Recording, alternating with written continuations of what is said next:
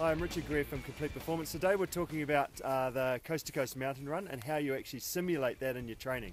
So key point is um, just have a play, play with stuff. So in terms of simulating, look at uh, doing big step ups and then jumping off stuff. Um, as you're moving through different terrain, try and keep your head up and looking where you want to go and try and uh, map out a course. Um, keep your arms out wide, that'll help you balance a little bit as well. And the last thing, I guess, is just fast feet. Just try and move through and just be as consistent, as smooth as you possibly can. Um, and most importantly, have fun and uh, get out there and do some different adventures rather than just running in a straight line.